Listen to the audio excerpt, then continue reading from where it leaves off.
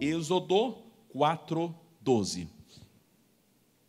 Disse Deus: Vai, pois, agora, e eu serei com a tua boca e te ensinarei o que hás de falar.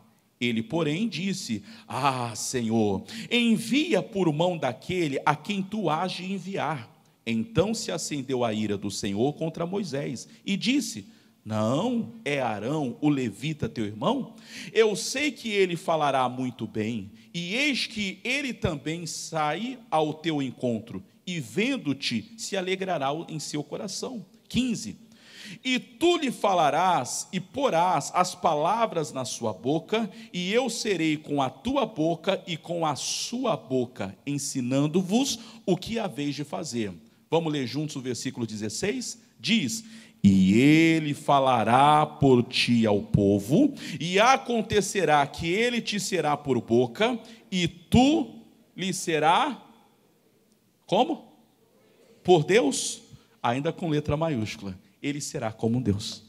Deus agora chega para Moisés, o próprio Deus falando com Moisés, que quando Deus falasse com ele, ele então replicaria, ou seja, falaria o que Deus disse, seria como um profeta para o Araão. O Araão profetizaria, falaria a massa, a multidão, as pessoas que o seguiam, quase dois milhões de pessoas, mas que o Moisés, ele seria como Deus.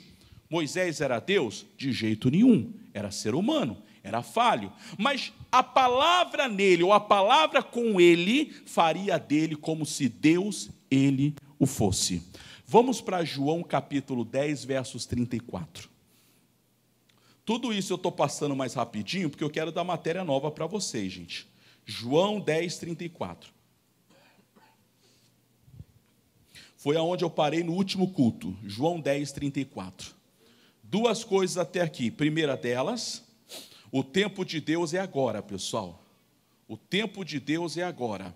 Deus não vai preparar alguém para você, ele já tem. Se você fizer a vontade de Deus, ele vai colocar a pessoa no seu caminho. Deleita-te no Senhor e ele satisfaz o desejo do seu coração. Deus não vai agora criar algo novo, ele pode criar, ele pode.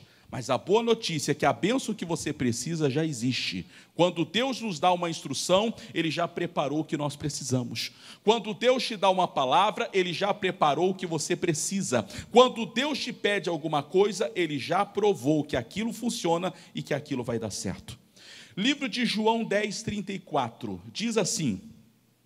João 10, 34.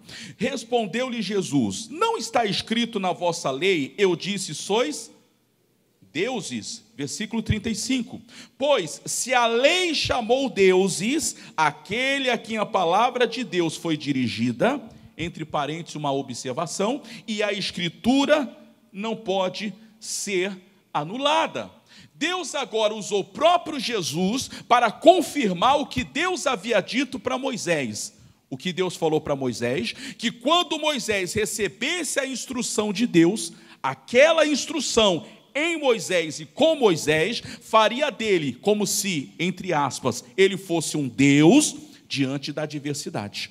Quando você vem à igreja, olha o quanto é importante. Você ouve a mensagem, entende a mensagem, entende o recado, você continua sendo ser humano, sujeito a todas as falhas que o ser humano é, mas a palavra em você faz de você como se você fosse, novamente, entre aspas, um Deus com D minúsculo, porque Deus só existe um, mas um Deus, entre aspas, diante do seu problema. E como é que Deus se comportava? E disse Deus: haja luz, e você vai fazer o mesmo. Disse, disse o Denilson: segunda-feira eu vou vencer em nome de Jesus.